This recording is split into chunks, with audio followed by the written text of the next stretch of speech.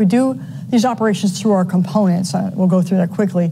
We have air component, the Air Mobility Command, the Surface Deployment and Distribution Command, the Military Sealift Command, and the Joint Enabling Capabilities Command. And so the men and women uh, of those components execute every day, and they ensure that we have strategic dominance, right, provide, by providing these options uh, to our military.